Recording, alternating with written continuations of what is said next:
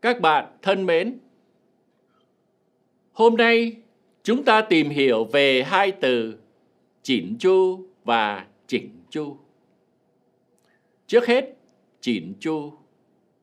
Chỉn chu là tính từ.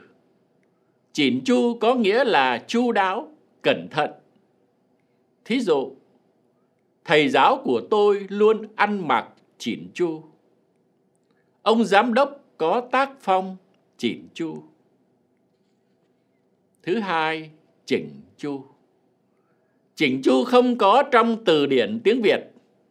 Từ này thường bị dùng sai, có lẽ do người ta nhầm lẫn với từ chỉnh trong hoàn chỉnh.